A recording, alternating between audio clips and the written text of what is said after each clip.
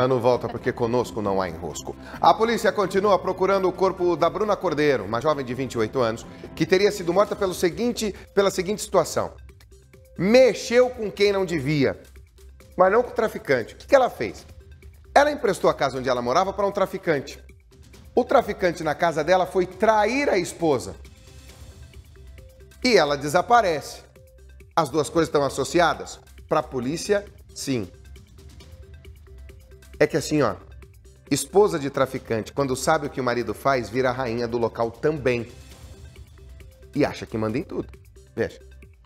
O cachorro Nico não deixava escapar nada. Cada canto era uma oportunidade para ele farejar e encontrar drogas.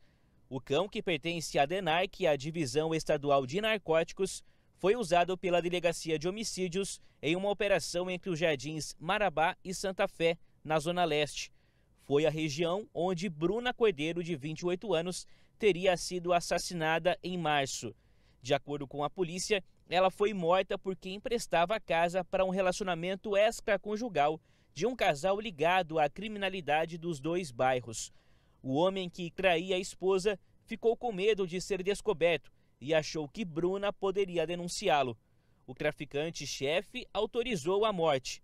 A operação não encontrou drogas, mas reuniu mais pistas do caso. A função principal aqui é saturar a região por causa do tráfico de drogas e também aí você constrange o tráfico de drogas e também procura o corpo da Bruna. Já são quatro meses de buscas atrás do corpo da Bruna. Nesse tempo, os bandidos que cometeram este crime retiraram o cadáver dela do local onde estava. O delegado que cuida desse caso não descarta novas prisões nos próximos dias. Ah, tem caroço nesse angu, né? Tem caroço nesse angu.